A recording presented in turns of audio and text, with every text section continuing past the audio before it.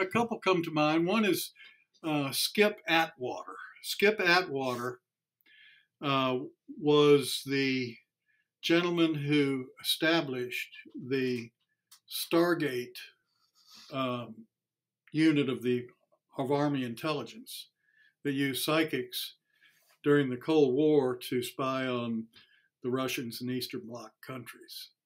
And, you know, that, I think some congressmen found out about it and they thought, you know, they almost went crazy. But apparently it actually worked.